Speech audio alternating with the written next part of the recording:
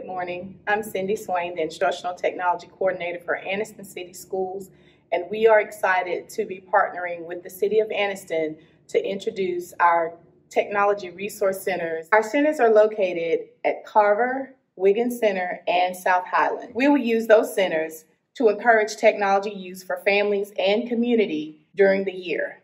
If at any point in time parents need additional support or there are things that you need to know, you can contact me at the district. Again, my name is Cindy Swain. I'm the technology coordinator.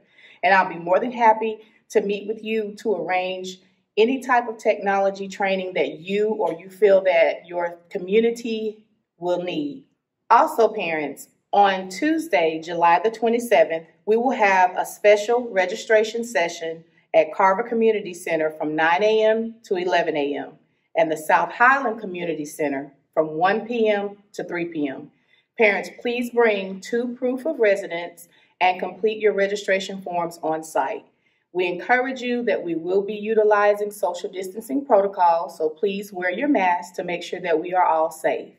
Again, if there's anything that we can do as a district to strengthen our community partnerships with you, please let us know at Anniston City Schools.